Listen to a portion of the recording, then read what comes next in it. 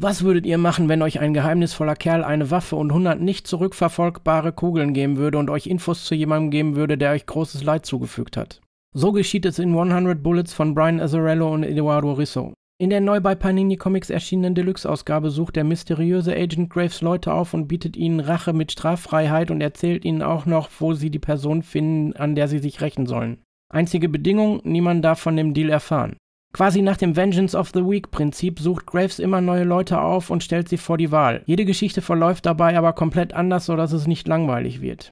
Mit der Zeit werden auch Fragen über den Agent gestellt und die Hintergründe immer weiter aufgedeckt. Woher hat Graves so viel Macht, dass die Polizei alle Ermittlungen einstellt, sobald die Waffe oder Kugeln ins Spiel kommen?